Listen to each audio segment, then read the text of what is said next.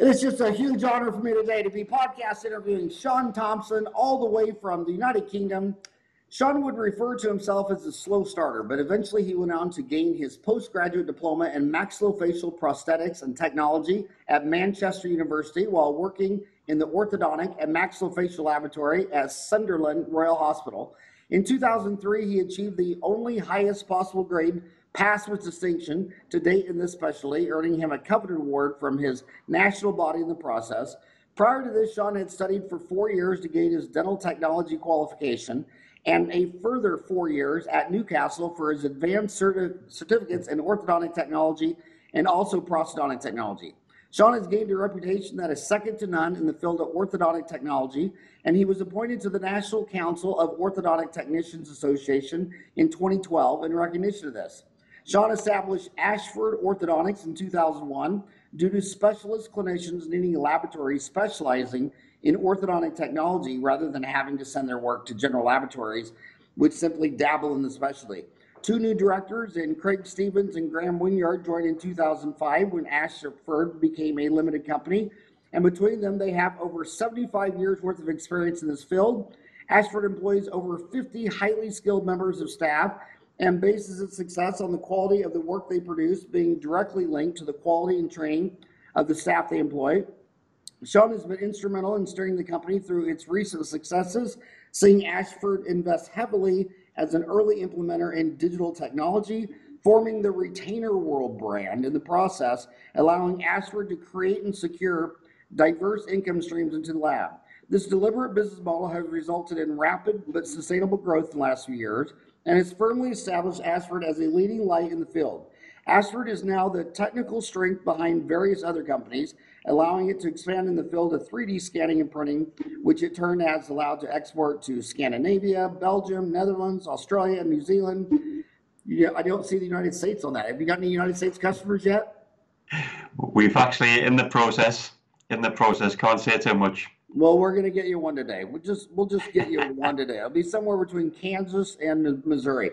The company continues to expand following its 17 years of continuous growth inception and is currently in discussion to increase its income streams further. So we're we're basically the same age. We graduated from school the the same time, basically. Um, um, gosh, Invisalign has really changed orthodontics. I mean, I mean, I can't when I look at orthodontics, I mean, that has to be the single greatest factor that's happened to orthodontics since I got out of school three decades ago. Would you agree or disagree?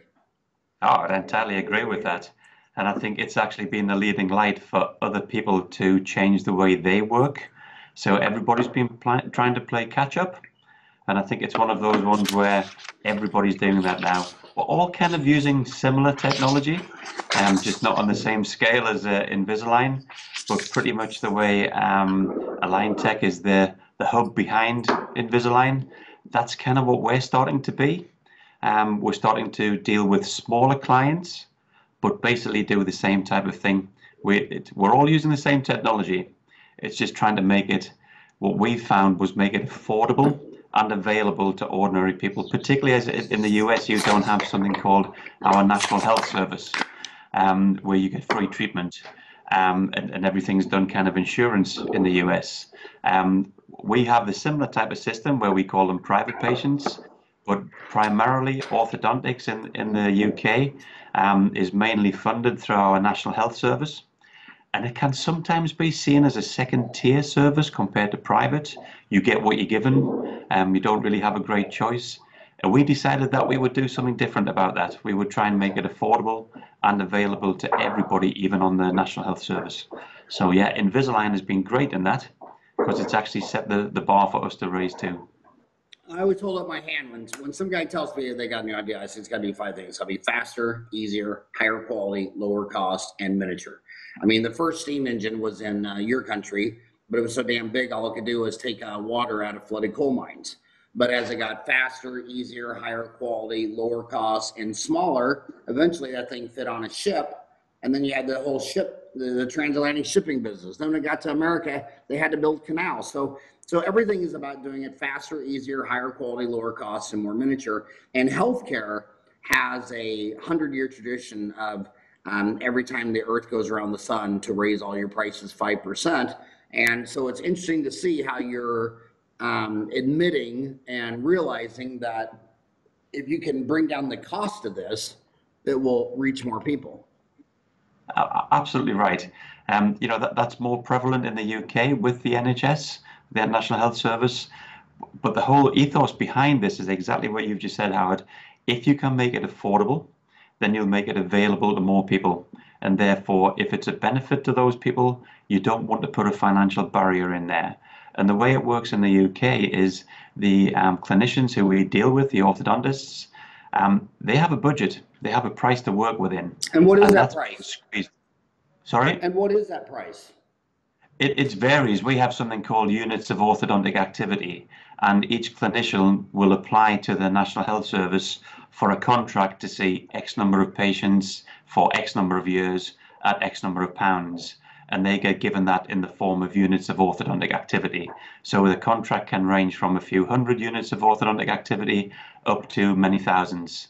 Um, but equally, there's times of austerity worldwide, and it's not a bottomless pit with the NHS. Everybody has to justify what they're doing now. So essentially, everybody gets given a pie. It's not like you have to bake your own pie with ingredients. You're given that pie. You have to actually cut it up, slice it up wisely, and eat it at, at, a, at a measure that's going to last you one, two, three years. Um, so we're trying to make sure that um, that pie lasts a bit longer. So that's what we decided to do. Yeah. And are you doing uh, clear aligners or are you doing bracket systems too? We do all of them. Yeah, we do all of them. So what what, Um, is, what is the market? What what is it about eighty percent brackets and wires and twenty percent clear aligners? Yeah, on the NHS, um, it's virtually all brackets, and it tends to be kind of stainless steel brackets. Um, you still get exactly the same treatment, you'll get exactly the same result, and there's some fantastic results. Um, the difference is with the NHS, the clinicians have to be governed by what they can spend per patient to fulfill their contracts. Um, so they have to look for the most cost-effective alginate or impression material, so rubber base isn't going to happen. Um, so they're trying to find ways of servicing this contract to a very good standard, but in it also it has to be affordable for everybody. They have to make a living. Everybody has to make a living, but nobody wants to see a second-class service to the NHS patients. And what, And, is, what is also- the NHS? What what is it paying for the average case? What what would What, the, sorry? how how much money would the average dentist in the UK get for an ortho case? So about how many pounds would it be? And I'm not sure because they keep that figure very close to their chest. So I'm not really sure. It depends again on the size of the practice and how many patients they've got. Um, but I know there's measures in place now where it's down to how many children, and, and it tends to be under the age of 19. So there's around about a million patients per year in the UK qualify for free NHS treatment. Um, Free what? to treatment? qualify, free for free NHS treatment, so they don't pay for it. It's it's But what yeah, did you call it? Free Intergest? A- NHS, Oh, National Health NHS. Service. Free Yes. NHS. So one million children in the UK are under 19 and qualify for free NHS dentistry. That's correct, yeah. Okay. How you qualify that varies in different areas down to um, oral health and the, the severity of the malocclusion. So it really depends on, on which level they come in at. But if they qualify, um, it's up to the clinicians then to be to service that contract and get a really good result after 18 months, two years, and then keep the teeth looking nice as well. So they, they've got a duty of care that they don't just get the teeth straight and then they disappear and the ch- child doesn't wear the retainers. So all of that is the aftercare as well, and they have to they have to have a financial provision in place to make that happen. Um, so they're being squeezed. You know, it is hard for them at present. So that they're trying to make ends meet, and we came along to try and fill a gap for that, really. So what technologies have you adopted that you think is making orthodontic treatment for the NHS faster, easier, higher quality, lower cost? Um, at present, we probably do around about 85% of all of our orthodontic cases, the retention and everything at the end of it, um, via the traditional tr- alginate impression material route. And we do now we do about 15% digitally. Um, we do around about 8,000 orthodontic retainers per month, which is quite a few. Um, but what we've done is we've tried to provide the technology digitally to make it affordable and available. So instead of having to send us via courier or post these traditional alginate impressions, we receive the scans. You've, you've seen them out there, iTero, and I don't know if I'm allowed to name them, iTero, Carestream, Trios. They're all out there, and the clinicians now are investing in these because they know the accuracy is better. Um, but can we then combine that into they don't want to pay more to have that service? So could we combine the service that we can provide to them digitally for the same cost as it would cost them to send it via traditional alginates. Um, and that's what we've tried to do by in, implementing digital technology on a, on a large scale. So, um, when you talk about the, the scans, when you talk about um, iTero, um, Carestream, um, tri- uh, Trios, um, th- those are big investments. So, um, iTero is owned by Align uh, um, and Trios. So, if some dentist was listening to you right now from around the world and said, "Dude, these are expensive," which what they want to know which one you recommend. Um, we don't actually have a preference. We're, we can take scans from all of them. Any scanner out there, we can receive them. The vast majority of the ones that we get at present are the three that you've just named, but primarily iTero being the, the most popular one. And I think it's because of the connection with Invisalign. So a lot of the National Health Service orthodontists have a fulfillment to, to treat the patients under that contract, but then they also have an obligation to treat patients who want to go privately and maybe miss waiting lists out. So the iTero scanner ticks both boxes. Um, but what we're finding now, and this is kind of really the, the basis of what we're doing, is we've now got three large orthodontic practices who don't have any impression material in their practices. So, which was unheard of. The thought of that actually happening to do everything digitally was just a year ago probably wouldn't have happened. And now we've we've gone from one to two to three practices, and more people trying it now. So they've invested in the scanner, which is the expensive bit. They kind of need that for their private patients to do Invisalign and stuff like that. Um, but actually, can they implement that to the National Health Service as well and give every patient that opportunity? They could only do that if they could find a laboratory such as ourselves that could provide that technology for the same cost as it would cost them to do it via traditional routes. And that's where we've kind of made a breakthrough. Go back to um, the big dollar question about buying a scanner because um, you know it, it is a lot of money for the dentist, and we know on Dentaltown that when you're thinking about buying a CAD CAM or a CBCT, you know they spend hours and hours just on that one topic, reading everything.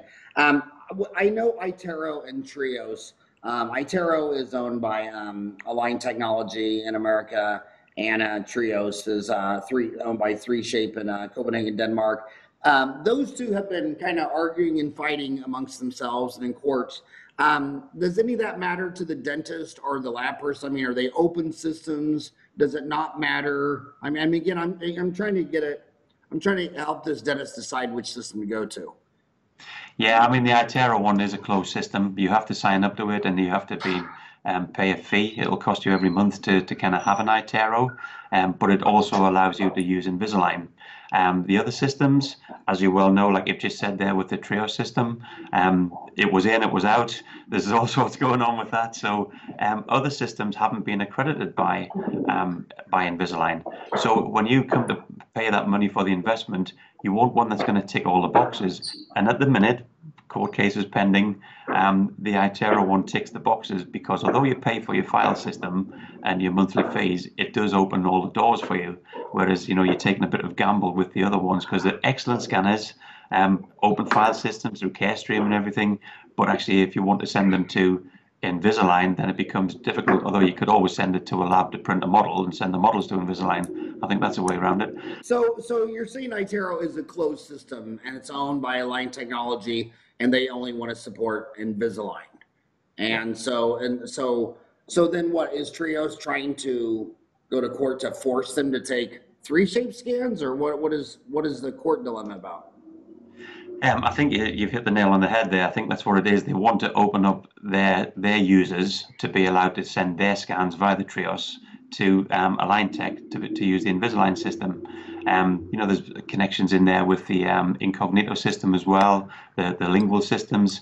So there was a little bit of you scratch ours, our back wheel scratch yours, and I think that's gone a little bit sour with patents and, and things. So there's a whole minefield there, and I think that's what the, what they're trying to do is, if you allow our files, we allow your files, and everybody lives happily ever after. But there's obviously lots going on out there, which is beyond us. I think. Well, you know, it, it's um everything. You know, I, I don't look at things as right, wrong, up, down, left, right. I mean, every, an engineer looks at everything as a trade-off. I mean, um, you know, like Apple's a very closed system, but it's very easy to work and all that stuff. Google and Microsoft, a very open system. So there's all advantages of that, but yeah, more bugs and viruses and and I, I've seen dentists who bought the um, the the closed system CBCT um, at a Dentsply Sirona, where it's all closed, but everybody in the office knows how to use it because it's all one system and it's real easy. And then other people want an open system say buy a CBC from one company, a CAD from another company, they had all this open technology. But then when you walk in the office, you ask your assistant, "Well, do this," and she, oh, I, I don't know how.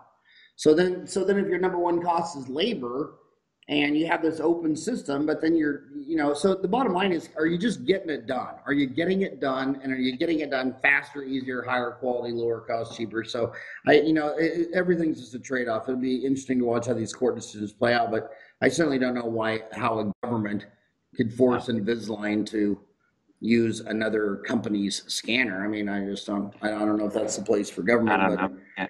But I hate I hate talking religion, politics, sex, or violence. Um, so so, but you're saying um, if you're going to do uh, a lot of Invisalign, get the uh, it's owned by Align Technology, get the iTero. You're having no problems with the Carestream or the Trios uh, from 3Shape No, either. no. What, what Yeah. about 3M's uh, True Depth scanner? Do you see that much? Yeah, yeah, we, we do scans. It's probably about six or seven different types of scanners, and you, you have to pay sometimes a fee to one to accept their files. You have to you have to upgrade your software to accept other files. So there's different ways that you have to pay to to receive these, even though they're in kind of open systems. You have to have the technology within the lab to do that. Um, most people have signed up to it, and you accept that it's kind of part and parcel of what you've got to do. Um, but from our side of it, we're not really bothered at all which scanner you've got. Um, if you want to send it and use the technology, then we can receive it, and that's kind of what we've based our business around. Yeah. Money's the answer. What's the question? I mean, I, I I could listen to all the philosophical arguments. Yeah, yeah, yeah, yeah. But I mean, look, look at the X-ray. The X-ray machine was out forever, and dentists weren't using it until Delta Dental came along. It's called the Longshoremen's uh, Dental Insurance Plan in the Northeast, Oregon, Washington, California, which really turned into the first Delta about 1948. They covered X-rays at 100 percent. Oh, well, the dentists were like dominoes. I mean, from coast to coast, all of a sudden, who's this Roentgen guy? Really? Uh, I, I need that machine. So at the end of the day, money is the answer. What's the question? And what I don't understand with some of these systems, like take TrueDepth, it's like, okay, you're owned by 3M, so I'm supposed to buy a $17,000 scanner to avoid having to buy Impregum, which I've been using since 1984. And Yeah. and they say, oh, but you have to have a $200 a month license. Well, shit, am I even buying $200 a month of Impregum? And, Yeah. uh, you know, so uh, at what point, so money is the answer. So as it gets faster, easier, higher quality, lower price, but you're obviously gonna need some volume. So you have three orthodontic practices, so they're totally digital, but they must have Yeah. great volume. It's not like a dentist where Yeah. five or 10% of the revenue is ortho. I mean, this is Yeah. an orthodontic practice, so it's, it's hundred percent uh, down Yeah. and out ortho. So are, are, are you are you seeing the future of the all digital practice just with orthodontists? Yeah, we, we just have specialist practices just doing orthodontics. And, and obviously, because they've got the contract with our National Health Service, then that's what their speciality is. They don't do anything else, they refer outwards for everything else. Um, you know, so from their side of things, they literally do 100% ortho and they need to get patients into treatment. They need to be able to, um, the is absolutely fine. It's, it's, if it's not broken, don't fix it. But what they are seeing the benefits of is that you get a more accurate scan and a more accurate model to work on given the scan that you're using. Plus, the speed of treatment, we haven't got to ship impression materials in, it comes in instantly. The kind of the geographic boundaries have gone. It's not a case of we've got to get something from Scotland down to anywhere in the UK. It can come in instantly. So, so there's a major benefit there that you're saving at least 24 hours on, on that. You don't have to travel with the Impregum, the alginate. It, it's not pretty much stable these days, but you don't have that issue with the scans. So if you can, particularly for retention, the quicker you can get the retainers into the mouth at the end of treatment, the better it is for everybody. You know, because all the all the hard work's gone if it, the teeth drift. Now, how, Um, how are you making your money in, in these orthodontic prices? Are you selling the clear aligners, or are you selling the retainers, or how, what, what is your business model? Yeah, it tends to be the retainers, the retention element plus refinement aligners at the end. So, Um, so so we can do. Invisalign for the clear aligners. No, we, we, we use actually 3Shape's software, um, the Ortho Analyzer product. We use their software to, to do the manipulation on the models. So we can use their software to move the teeth on the STL file. And then we can print a series of models which will create the sequential aligner system, which is very similar to Invisalign. So Okay, so the orthodontic practices you're using aren't using Invisalign then? If they're u- the- these three that you're talking about that are all digital. Yeah, the, the, they're using Invisalign for their private patients, but for the pri- for the NHS patients, they tend to use brackets. But then when it comes to the end of the treatment, if they have some kind of refinement aligners, you've got one or two stubborn teeth which just won't move, then they can use the software that we do just to, to do a little mini series uh, of, of aligners at the end of the treatment if they wish. Yeah.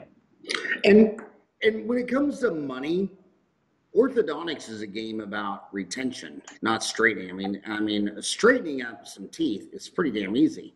But when you take Yeah. those wires and brackets off, if you know, if Yeah. everything relapses, that's the problem. What, what, what I mean, do you, do you agree that orthodontics is a game of retention? Oh, absolutely. Uh, When I first started in this, maybe 35 years ago, there used to be wear the retainers just for kind of a couple of months and you'll be fine. And, and now, as it's gone on, retention is for life. You know, so it doesn't really matter if you're using Invisalign or if you're using fixed brackets, you still need retention at the end of it. And I think the quicker you can get retention onto the patient's mouth, then they've been through a lot of time and a lot of treatment time to get the nice straight teeth. The, the real thing, like you've just said, is keeping them there, keeping the patient motivated to keep wearing the retainers, um, provide the, the best quality retainers. If you've got a retainer which is just a removable retainer and it costs X number of pounds, if you can go out there and provide two types for the same price as one type, for example, you can put a fixed wire bonded retainer and a removable retainer for the same price what traditionally people paid for one retainer, you've got what we call the belt and braces approach. You've got much more chance of getting a compliant patient. If they lose their removable retainer, if they've got a fixed wire on the back, then they have time.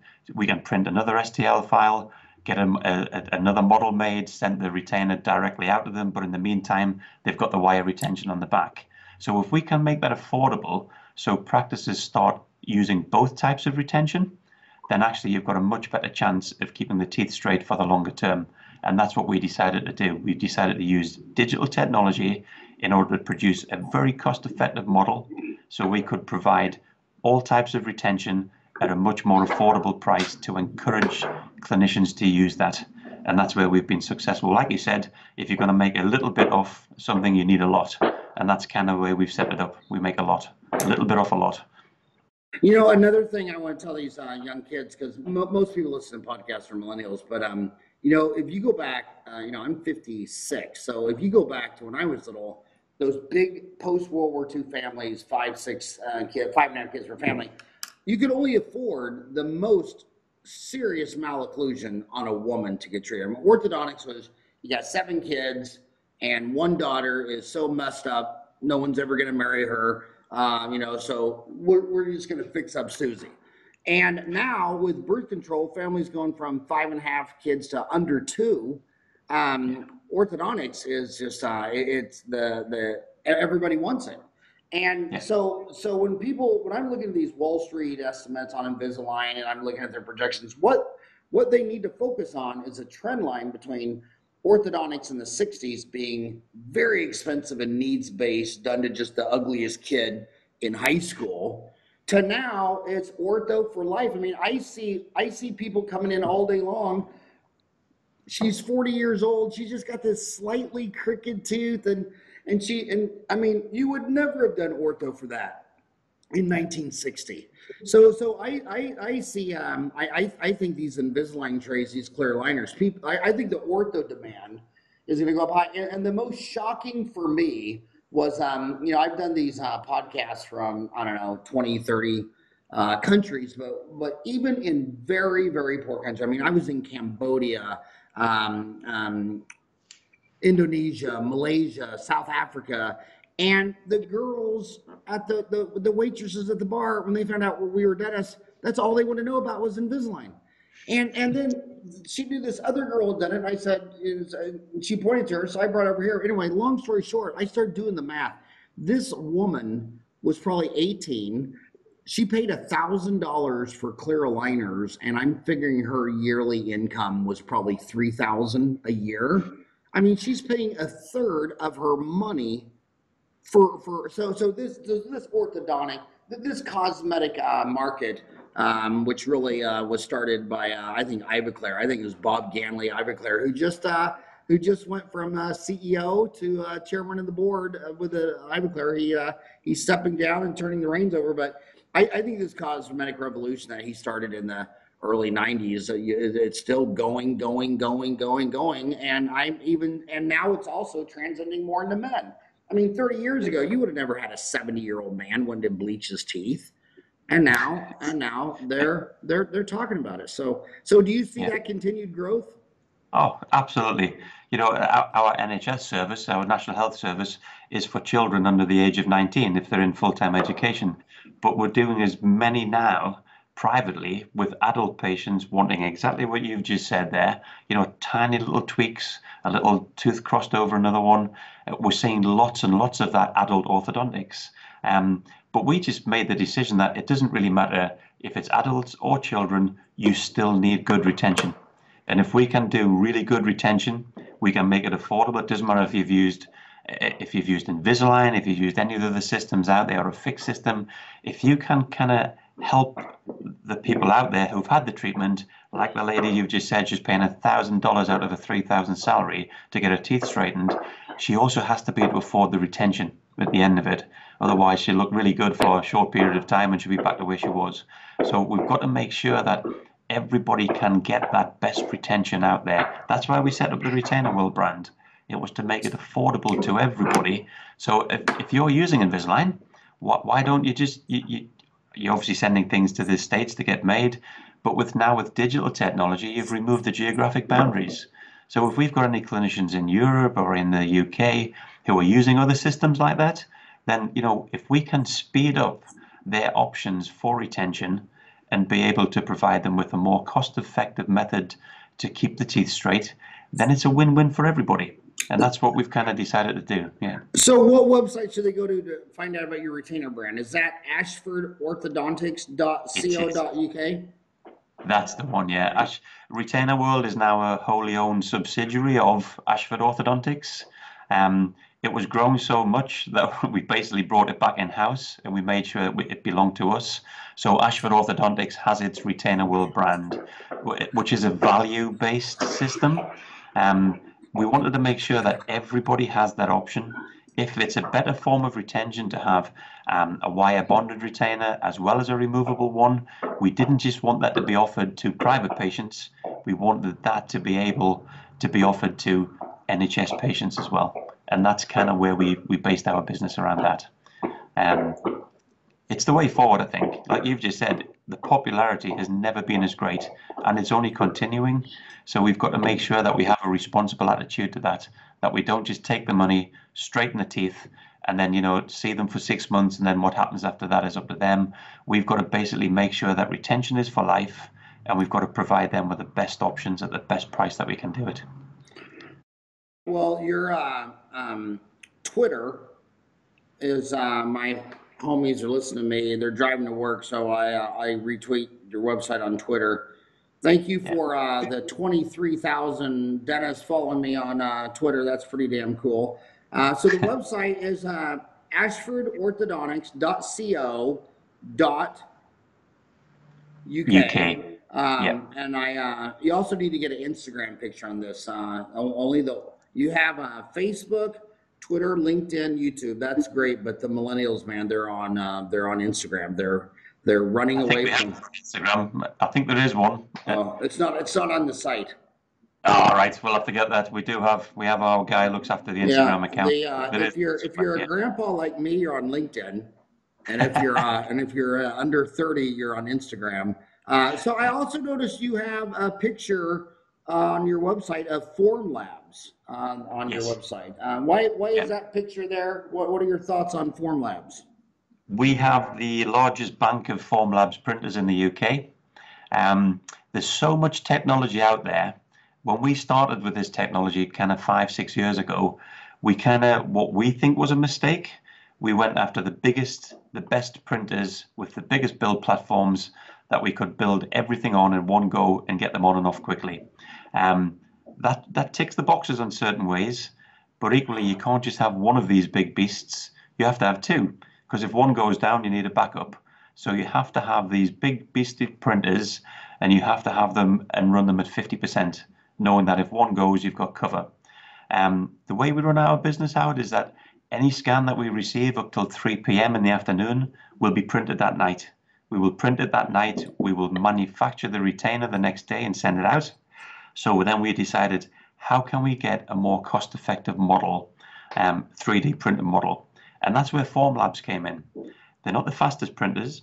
They're probably not the most accurate printers, but they are very, very affordable and they make a very good model for the cost. What that allowed us to do was it allowed us to produce the 3D printed model from the STL file at half the cost of the, the bigger brands out there with the huge printers. And from our point of view, it doesn't really matter if the printers build a build platform in one hour, two hours, three hours. We close at about 8 p.m. at night and we open again 6 p.m., 6 a.m. in the morning.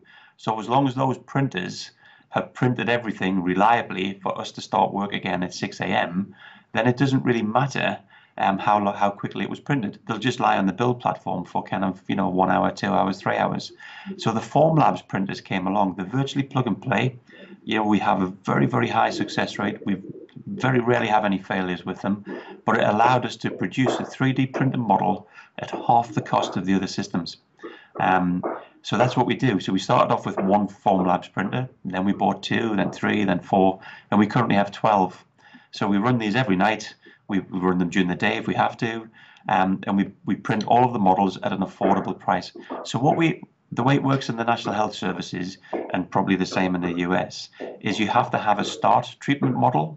So you have to know what the crooked teeth look like beforehand, and then you have to do the treatment, and then and then you have to have a, a study model digital of what the teeth look like nice and straight. So what we decided to do was, if you've got a scanner, whichever scanner it is, then you don't need the study casts of pre and post treatment. So if you can substitute the cost, the laboratory cost of having those plaster models into the cost of the printed models, then you have exactly the same lab bill. So we used to charge whatever price it was for the study models, that's how much we charge for the printed model. Then that way the clinician's lab bill digitally is exactly the same as it was doing it via the impression material. The only way we could do that was to find a more cost-effective printer which was reliable, and that's where we, we got into Formlabs, and they've been fantastic. And we just keep growing and keep they're virtually plug and play. So you plug them in, you, you, if you know what you're doing with them, which we do now, um, they're very very reliable, and we can keep getting 14, 16, 18 a big bank of these printers, and that's kind of why we have it on our website because they're very good to us, they're very reliable for us. Yeah. Now, Formlabs, that's uh, right up the street from Boston. Those are a bunch of MIT boys. Uh, Yeah. So uh, they're headquartered in Brighton. Uh, so who do you work with there? Uh, Do you is it Samuel Wainwright or who's your? Who's No, your we, we don't. We don't work directly with uh, with Formlabs in Boston because they have UK what's called on sellers. So we work with there. We work with John Winter in the in the UK and the Dental Directory, and we, we buy our printers from them, and they're the on sellers. But we do have um, we do have connections with Formlabs, obviously, because they've just sent a Boston film crew over to our place in Sunderland in the UK, and they spent two lovely days filming with us. And I think the video is just about to come out on their website. Um, so we showed them the sights of Sunderland and how we've grown a, a small lab from started in my garage, kind of 18 years ago. How we've now turned it into a, um, a huge laboratory, 12,000 square feet, with um, over 50 staff. And it was no doubt that um, probably three, four years ago, we were doing around about 2% of our work digitally. Now we're up to 15%. and it's the fastest growing area within the orthodontic laboratory. So tell me the So- dates on those. You, when was it two percent? What year? Probably two years ago. Yeah, So 2016 it was two percent, yeah, and 2018 it's. 15%. I mean that, that that's crazy growth. Yeah. I mean Yeah, that, that, is. that that's crazy. Where where do you think uh, it's going to be in 2020? Oh, I think it's going to be at least 50-50. Um, I think the way that they're training the, the dentists as well is probably going to change in the next, you know, two to three years. Um, a lot of the dentists are trained via traditional methods and they enhance their training, normally postgraduate, with um, digital techniques, um, tends to be via s- continual professional development. I think within a very short space of time, once the teaching establishments have got the money to invest in this digital technology, it will end up being digital teaching with a little bit of traditional. This is how we used to do it. Um, whereas I think at the minute it's this is how we do it, but these are the options going forward. And I do feel that you know within a very short space of time, then the, the training will have to dictate by di- digital technology. I think it's going to be 50-50 within a very short space of time, and maybe even more the other way. Yeah. So England, so the United Kingdom has 65 million people. How many how many dentists and how many orthodontists do they have? I think there's around about 25,000 dentists. If uh, don't quote me on these figures, it's around about that, and I think there's about three and a half thousand orthodont specialist orthodontists. Now, do the Uh, do the orthodontist and the um, general dentist do they work? Do they play nicely together in the playground, or is there a lot of animal spirits, competitiveness? Um, how would you? They used to play very nicely. There was a good referral process in place between kind of dentists and orthodontists. If it was a very simple case, they would maybe think about doing it in house. Um, if, if it was more complex, they would have no problem in referring to an orthodontist to do. Um, I think with the onset of um, better training, more available training, there are more and more general dentists um, branching out into offering orthodontics to adult patients. Um, in the UK, you have to be a specialist to get a, an NHS contract, so that tends not to be the case. But with adult patients, there are more and more dentists now actually taking on board training where they can offer the, the easier cases. I think there's a grey area in between of, um, you know, do you do the do you do the slightly more complex ones or do you refer? And I think what you've just touched on there, there used to be a general referral process. Now there's more and more dentists saying, you know what, I think I can do this myself with some training and mentoring. I think I can do it. So they've realized that there is an adult market out there. So there's a lot more doing it themselves very successfully. We've seen some very good cases. So there's an argument between the two dentists and orthodontists that should who should be straightening teeth, who shouldn't be straightening teeth. And I think really that there's no definitive answer. You should only act within the realms of your competence. If you've treated 50 simple cases with of adult orthodontics, then you know should you be told you can't do that? But equally, if you've got a dentist coming out who's had no experience and wants to take on right at the very top of the, what they should be treating on the first case, then yes, there's an argument that you should refer as well. But I think if you've got a system in place where there's a good communication between them, some definite mentoring, some definite teaching, and there's a lot of orthodontists now taking that stance that, you know what, I think these guys are doing a great job in certain cases. And if we can help them choose the right cases, then everybody can play nicely again. Yeah.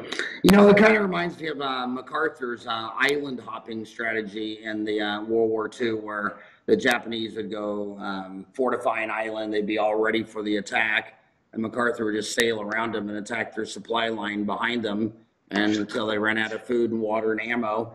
And he always said, "Starvation my ally." Why these orthodontists have been fighting with General Dentist and Invisalign went right around and said, you know what, we don't, we don't need either of you. They're opening up scanning bars in Manhattan right next to these Apple Genius bars. And there's little cute girls in uh, skirts and high heels taking oral Yeah. scanners and they're sending that scan to Costa Rica and they're making Yeah. trays and they, they own 17% of Smiles Direct Club. And when it comes to orthodontists, I'm sorry, as a general dentist, I mean, I, I, I see uh, it's dysfunctional. I mean, when you're in Yeah. dental school and you're working on a child, any pediatric dentist will help you. If you're working on a root canal, any endodontist will help you. If you're trying to pull a tooth, every oral surgeon will help you. Every specialist bends over their back trying to help you, except the orthodontist. And then the, and they, they, they think in fear and scarcity. Why they're sitting there thinking in fear and scarcity with the general dentist that if he gets an Invisalign case, then the orthodontist will get one less, not realizing that the overall orthodontic market is skyrocketing. And um, and then number two, while the orthodontist is all worried about the general dentist referral, Invisalign says, "Screw both of you. I don't need either of you guys." Is there Smiles Direct going on in the UK? Yeah, I think it's starting to already in the, I think in the capital and a couple of cities around the UK. There's a there's rumours that they're opening there as well. The same thing, direct to the public. Um, it's a difficult one, you know, from our side of the fence. It's um, we don't really have an opinion on whether it's right or it's wrong. It's it's not really our field. It's one of those ones that let them fight it out in court and let them do those things. But if you can get more people, from our point of view, if you can get more people into treatment, whichever method it comes from, then they all need retainers at the end of the day. And if you can provide that, you know, then that's the main thing. Keep the teeth straight. Let them argue between themselves of which is the right or the wrong way.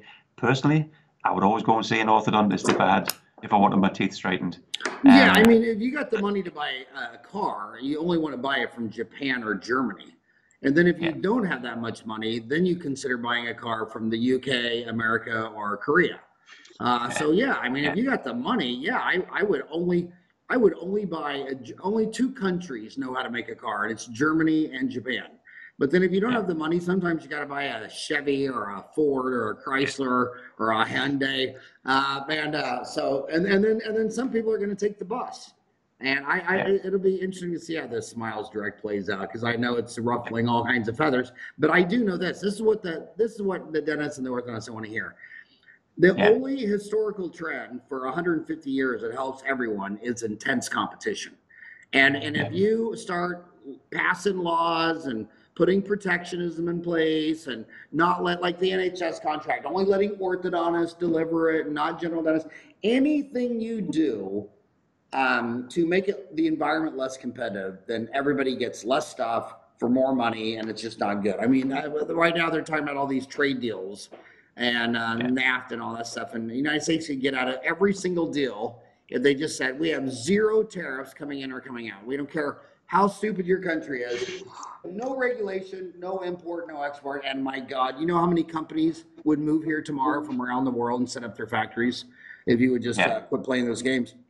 So, um, explain to the young millennial. She's uh, 25. She just got out of school, and she um, she didn't learn any ortho in school because the orthodontist department thought in fear and scarcity. But uh, she learned endo and oral surgery and all that stuff. And she sees a case, and she's going to do it. But she's thinking of straightening these teeth. Tell her the importance of retention because she's not even at that part of it. She, she's never she's never even seen a case relapse. What, what, what should what, what would be the top three things to be thinking about on retention and um, finishing that case? Yeah, I think um, retention for me personally, it's the most important part of any tooth straightening process. It has to be. You have to get to that end result and then you have to keep it. And if you can't keep it, it's like having a house that looks great, but then, you know, falls down a few years' time. So you've got to make sure that whatever she's treatment planning, the retention element has to be taken in right at the start. And she's got to think, how can I offer this to a patient? But actually, I don't want to offer that patient something which, um, you know, like you went back to the car scenario. It's all right saying, yes, you can have this one, but you know, she might be at the top, the patient might be at the top end of the budget. So therefore, you can have this one because it does pretty good job, but this one is okay. You really need to be thinking, how can I stabilize those teeth long term? What would I do to stabilize them? And for me, it comes down to a wire bonded retainer on the back of the teeth. My wife's had hers on for probably 25 years now. Upper and lower or just lower? Oh, on all, uh, upper and lower, yeah. Uh, your wife has a, uh, so you recommend on retention a fixed wire on the maxillary and mandibular, upper and lower? Absolutely, yes, okay. on, on both arches, um, and then also a removable retainer which you can, it's your choice which you want personally. I love the old fashioned wire and acrylic ones, but the patients don't. So ultimately it comes down to whatever we think's the right one. I know for a fact that I couldn't get my wife to wear a pallet and a wire, even though it would probably last longer and it would give a lot of adjustment to where it was needed. she simply wouldn't wear it. So it could be the best retainer in my mind, but if she doesn't wear it, it's the worst retainer. So we have to find something that's um, visibly, aesthetically pleasing, which there's nothing better than a clear type Invisalign retainer. Um, but you want the strength of a wire on the back. Now, depending on which wire you choose, there's different options there as well. Um, but if you can combine a wire on the back of the teeth, both mandible and maxilla, you have a removable retainer of choice of the patient that they're actually going to physically wear, as opposed to keeping the top drawer. You've got much more chance then of keeping the teeth straight. So, if, so from my point of view, you don't want to make the patient choose which is the most affordable retainer. They have to have the option of the best retainer at the affordable price. And that to me is where I feel we can bring our product to the market. And there's no geographic boundaries. There's no reason why anybody shouldn't send scans to the UK. You know, it's it's it's the same timescales as whether you send it from, you know, 10 miles away or 100 miles away. So I think for us, it's about doing the morally right thing, which is everybody thought we were crazy when we we, we halved the price of our retainers. So so um so you're um recommending these uh, for the fixed wire retainers. They, they come in in a scan, and then you make it in a, a deal so it's easy, faster, easier to cement. Yeah. Do you do that Well, with what we brackets also do too? as well. Do you do that for brackets? Yeah, yeah. We do an awful lot with brackets, and I think one of the key questions we were always asked is, um, if I take the brackets off the teeth, how soon can you get my retainers back? And it used to be I have to use a local lab because they're just around the corner and they can get them back next day for me, and we don't want the teeth drifting. But with the technology they can use now, 3Shape, the Ortho Analyzer one, we can digitally remove the brackets. You can scan the patient with brackets on and remove the arch wires and the modules, scan it with the brackets on, send it to the lab. We can digitally remove those brackets. We can 3D print the model as if there was no brackets there. And in that, we can make a wire bonded retainer, we can make a um, removable retainer, whitening trays, all of those things and all back in the surgery before you've removed a bracket from the patient. So how quick do you need them? Before the patient's debonded? Absolutely. You can't get better than that. Zero chance of relapse. And if you can do all of those things and not charge a premium price, then surely that's the way to go. In my opinion, it's the way forward. So have your retainers before you finish treatment. How do you deliver that retrainer? Do you, do you deliver it so it's in a, a seating uh, device? So you, you, you take off the Yeah. brackets and then, uh, what, what do you call Yeah, that? What yeah. do you call that delivery system? We do our own. We've got a, a retainer that we use. Um, to the hardest bit when you're fitting the wire bonded retainer, from everybody says to me, is you need three hands. It's very difficult to try and hold it in place and bond it and stop the, the, the bond from flowing everywhere. So we invented our own system called the silicon stent bonded retainer (SSBR). And essentially, what we do is we position the wire on the back of the teeth. Particularly the, the upper one's very important to do this because you need to check the occlusion. So we will bend the wire, we'll position it where it should be on the teeth so it doesn't interfere with occlusion. How do you check that? It's very difficult to check that if you're making some form of carrying jig. So what we do is we actually wax the wire onto the back of the 3D printer model. Uh, we use the exact size, shape, saucer pads, and then we close the artic down and you can see if it's catching. And then what we do is we actually have a flowable clear silicon, which we then inject over the teeth to make a very thin mouthguard type of carrying tray. We boil the wax out. The wire is held in the silicon, and you've got little saucer-shaped indentations, which means that you literally etch the teeth, a little bit of composite, pass it into the mouth like cure, peel the tray off, and there you go. A little bit clean up, and you're done. Are these time. videos on your website? Um, we're just in the process of getting those finished off. We've got some that'll be coming out on the Formlabs website. We've got some still images. Now, on the Yeah. Formlabs, do you, do you put that into a YouTube file and then give it to Formlabs, or what, what file are Yeah, they they- going to? They did their own filming filming of it, so it'll be coming out via their website. And then once they've released it, because obviously we can't steal steal their thunder, once they've released it, we'll then be able to to our YouTube channel. Yeah. You know, yeah, um, again, that's in fear and scarcity. So many of these companies, they put their videos on their website and, you know, they'll, they'll use a format where it only plays on their website. So now the world has 2 million dentists that would gladly share this on Facebook, Twitter, Dentaltown, Orthodent. I, I, I don't know how they can do that, but I wish you would, um, on Dentaltown, uh, there's 50 categories. and one of them's orthodontics. I wish you would load those videos on under orthodontics. Now, now see again, again, back to the specialists. All the specialists, some of the greatest oral surgeons, pediatric dentists, and they're all in Dentaltown. I mean, like Yeah. 25,000 of them regularly. I mean, regularly. Um, Yeah. And, um, but the orthodontist, we had to set up a whole different site, and it's called OrthoTown, and I can't even go on it, and I own the damn website. You, and, and then what's sad is like you're an orthodontic lab, you can't go on there. And I, I tell them, I'm like, well, you got to have communication with your vendors. You got to work the value chain. And I have all these orthodontic companies always ask me, well, do you know what they say on OrthoTown about this or that or this, that? I'm like, well, why don't you ask the damn orthodontist to let you on? And they're Yeah. like, no, we don't want anybody on. I mean, you're either a, a, a board certified orthodontist or you're, I guess you're a Neanderthal, Cro-Magnon, Peking man, uh, knuckle dragger. Uh, you know, it's just, uh, they're a hard tribe uh, to understand. they really are. They're extremely tribal. Um, but I think, um, I, I think these dentists get out of school. I, I, I see two types of dentists when they come out of school. They're either like me, uh, what I call an apical barbarian, blood and guts. I mean, we do a root canal, we want to get all the way to the end and have a puff of sealer out at the apex. We love pulling teeth. We love laying flaps. Love perio implant. We love we love blood. And then there's this other group of dentists. Um, I call them um, uh, pulp lovers.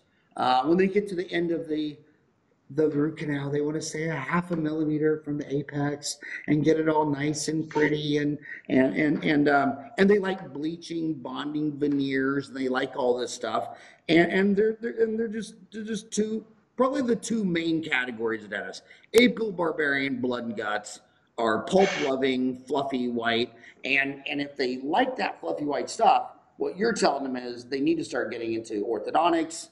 I mean, it's one of the fastest. I mean, orthodontics and implants are the only two sectors of the economy in dentistry that's growing two to three times the rate of the dental economy.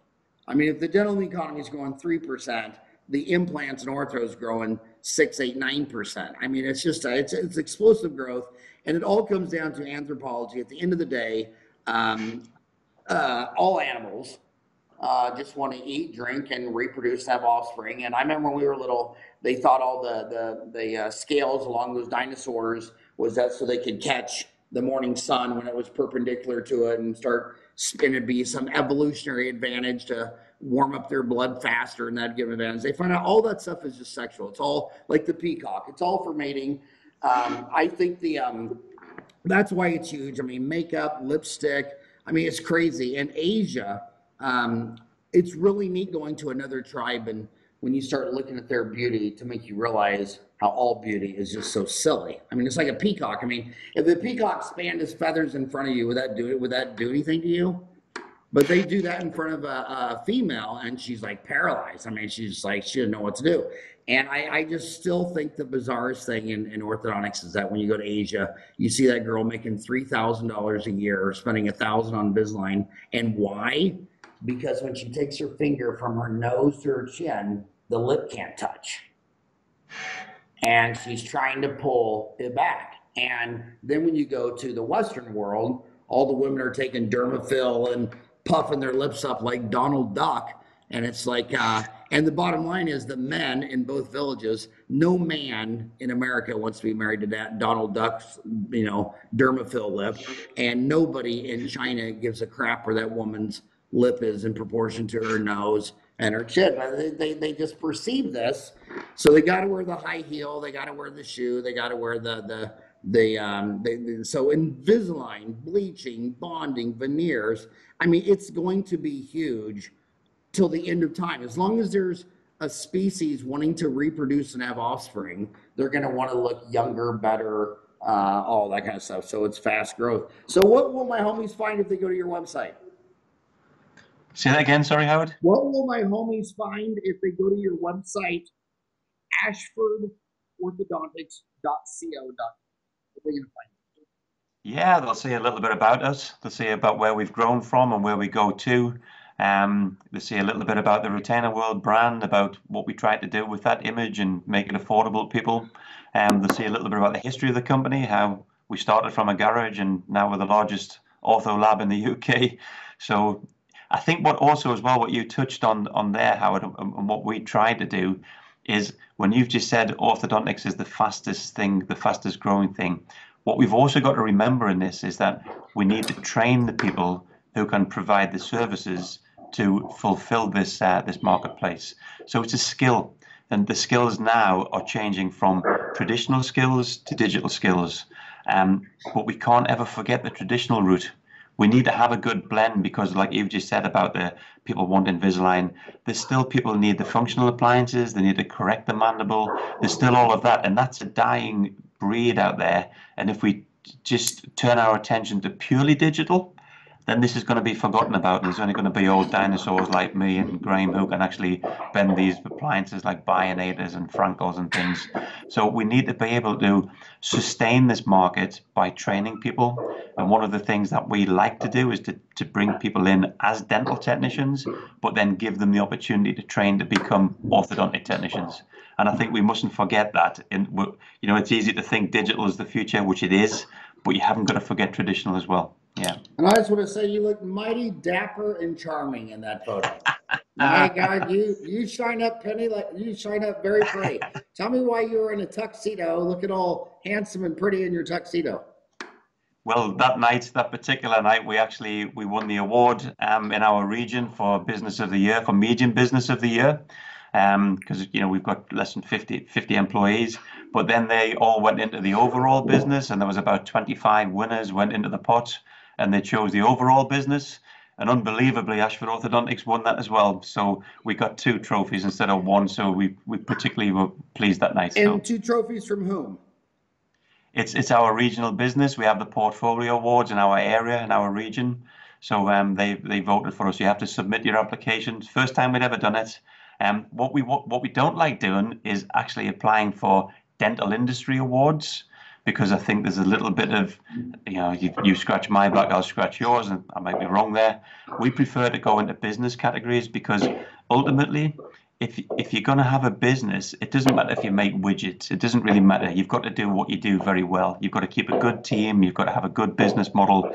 And I see too many dental technicians working in the business rather than on the business. So we took it as a particular compliment that we run a good business. You know, we know how to look after customers. We know how to make really good widgets. We know how to price them well. We know how to sell those widgets, and we know how to look after the customers who buy those widgets. And I think for us, it was a bigger pat on the back to receive the business awards than it is to go down the dental awards. If that makes not that I'm trying to you know devalue the, the dental awards at all, but I think we were particularly pleased, as you can see from that photograph, that we actually made a stand for orthodontics within the business community. So it's a business rather than an orthodontic lab. And I think that's what we were most proud of that night. So are tribal, like even the Oscars. I mean, it's always a certain type of movie that wins the Oscars. I mean, it's uh, I'll never forget when uh, when Gandhi uh, beat E.T. Okay, one's an autobiography. How creative genius is an autobiography, you know, and the other one is this complete innovation story you know, one was genius and one was a third grade autobiography. Well, guess which one won? Because you can't have E.T. win over Mahatma Gandhi. I mean, he's one of the, you know, the most important um, leaders in the um, in that time period. Um, last thing on, and um, I, I, hope you get with Formlabs, and I hope you um, upload a lot of those videos onto uh, Dentaltown. When you when you go to make a post on Dentaltown, uh, there's a little YouTube button. So when, when you have a YouTube video, you know, you can hit share and it has a link. And that's something you can might post on Facebook. But it also has a button called embed. And you click embed and you copy that code, you can put in the whole YouTube video. And a lot of you guys out there um, that are podcasters, there's about 60 dental podcasts now in Dentaltown. Uh, we're, we're hardly any of them. Um, the reason we film this, even though I have a face for radio, the reason I do YouTube is because YouTube and Google are the two biggest search engines in the world. And um, and the views, I mean, we're, we're up to 8,500 dentists subscribed to this podcast just on YouTube, and that one's growing uh, uh, very, very fast. And um, whenever a dentist makes a YouTube video, if they post it on Dentaltown, uh, people subscribe to their channel and it really explodes. It's free marketing and explodes your YouTube channel. I want to ask one final question, just because um, I would say at least half of our viewers are from the United States, Canada, Australia, and New Zealand. And um, in America, um, um, just I'm, I'm, gonna, I'm gonna ask this last so we can cut off, you know, and end. But uh, they're, all sitting here thinking, "What's up with Brexit?"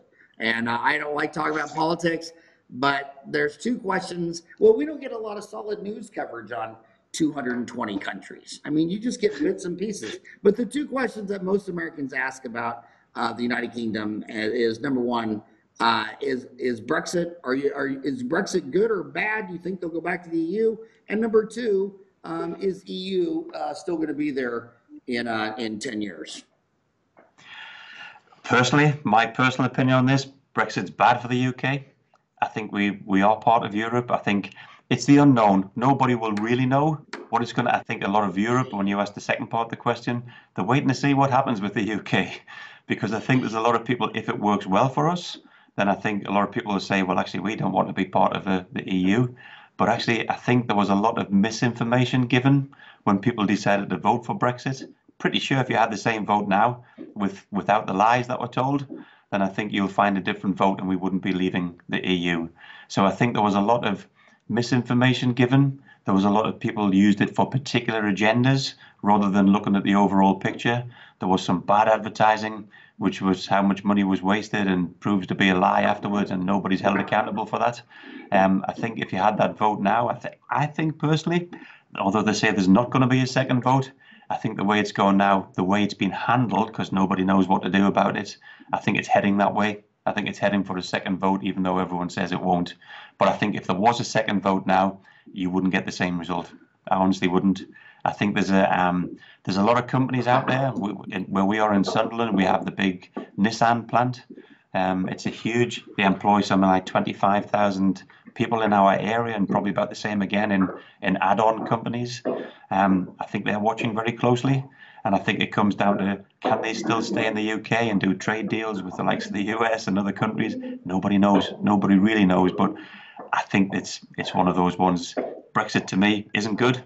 I, I would sooner have the devil I know than the devil I don't, um, just from business points of view, because business creates jobs and jobs creates income and everyone lives happily ever after. And I think once you upset the apple cart, you don't really know what's going to happen. So they're all watching the UK. Um, I don't think the government's handled it very well at all. I don't think anybody knows what's going on properly. Um, there's no definitive answers to anything. So I think it's a case of ask us again in a year's time, and I'll probably have a better idea. So. States has been uh, celebrating Brexit since 1776, and India has been celebrating it since 1949. But here's what, uh, in my take, because I have lectured in a dozen of those European countries several times each, and, you know, when the EU came along, it was really nice not to have to change your money uh, when you went from France to Italy and you know, all the money changers and all, all, that kind of stuff like that. But that was all solved by the credit card. Mean, my American Express doesn't care what country I'm in and, and, and the volumes and the trades and the transactions. But when I looked at uh, last year's number from The Economist, where uh, who pays um, net contributions to the EU, uh, Netherlands uh, is Netherlands, Sweden, Germany, Denmark, Finland, Austria, France, UK, Italy, and Ireland pay in pretty much pay in greatly more than they than they receive. And then look at the list who who gets more cash coming back than they paid in. Spain, Croatia, Cyprus, Belgium, Slovakia, Romania, Bulgaria, Czech Republic, Portugal, Poland, Estonia, Slovenia, Latvia, Malta, Greece, Lithuania, Hungary, Luxembourg. And when I do a lecture up there, when I'm up in those uh, northern uh, Denmark, Sweden, uh, Switzerland, Germany, um, the dentists don't have to drink too many beers at dinner to start really getting very upset about countries like Greece just running colossally insane policies. And so the question is, how long are the hardworking men in Denmark and Switzerland and Sweden and Norway and Germany going to subsidize um, Greece and Lithuania and Hungary? I mean, I, I just, I don't know. I don't, I don't. You're right. Yeah, I agree with you. I, I, and, and, and, as an outsider, I mean, I, I'm sitting here keep my mouth shut, sensing a lot of hostility. I mean, every time I go, it's not a pleasant conversation and it seems yeah. to be getting worse. So it's so I don't know. But anyway, hey, I just want to. Uh, I hope you share your videos on uh, Ortho on uh, you, you can't log on to OrthoTown because um, you have to be a spiritual leader or an orthodontist or a god. You have, you have to be above Gandhi and to the left of, of uh, Buddha. Uh, but uh, I, ho- I hope you share those videos on uh, Ortho um on uh, on Dentaltown and tell Formlabs that their their best marketing isn't on their own website. Um, Yeah. Google, Google says there's 1.6 billion websites and half of them are active. So putting a Yeah. video on your own website, I mean that that's why Facebook is so powerful because you're sharing it. So to put Yeah. that to put that video on Dentaltown um, um, when there's a quarter million dentists on that thing it'd be great marketing. But hey, thank you so much. So it's uh um, what what time is it there? Seven o'clock. What are you getting ready to go to bed? Yeah. Oh, just I've I've got a couple hours to do yet. So. All right. Well, No, thanks it's so much for coming on the show today. Thanks very much, Howard. It's been a pleasure. Thanks very much.